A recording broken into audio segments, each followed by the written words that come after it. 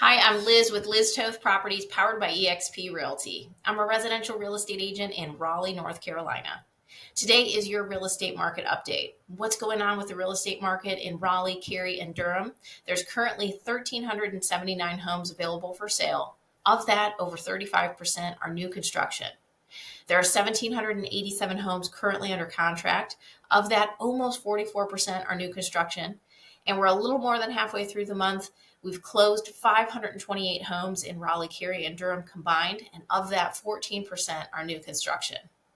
I started tracking that new construction number because since supply chain issues have eased, we're seeing more and more new construction options for buyers.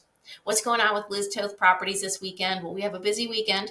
821 Stillwillow Lane is still available for sale. There'll be an open house there from 1 to 3 on Sunday, August 20th be, be sure to stop by if you're interested or if you know anybody who might be interested send them to the open house and have them take a tour.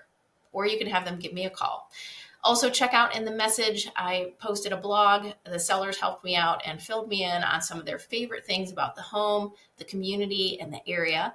Uh, so be sure to check that blog post out and learn a little bit more about the home and about encore at wendell falls I also just recently listed a townhouse in Fendol Farms, Fendol Farms is an active adult community in Durham.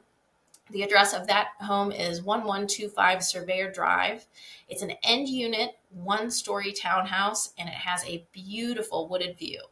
You can check out the virtual tour in the message below, and there will be open houses both Saturday and Sunday from 1 to 4, so August 19th and, and August 20th.